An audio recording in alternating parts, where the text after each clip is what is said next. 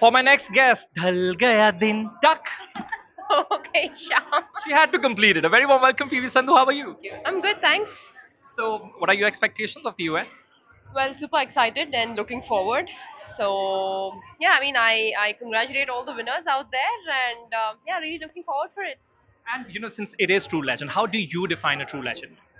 I think. Uh, we think you definitely are one of those. Well, thank you so much for that. But I think uh, true legend is where, I mean, everything comes with hard work, right? Uh, hard work, and, and life is all about ups and downs, and you win some and you lose some, and you, at the end of the day, you achieve something. So when you achieve something, you are a true legend altogether.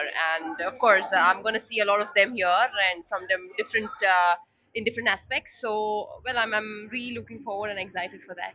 we have to address the fact when you come out and at events like these, you're such an inspiration to so many young women as well. Do you keep that in mind that you know have to inspire these young minds out there to go out and perform?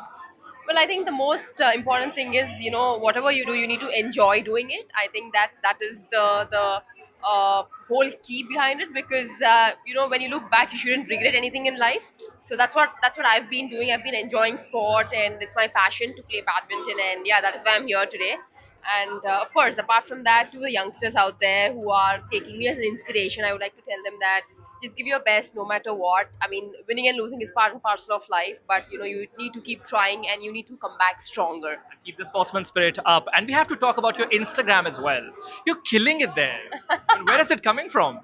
Well, thank you. I mean, it's it's all about uh, what you like to do, right? So yeah, that's what I do. You've gone with a fun vibe when it comes to your to, to your clothes today.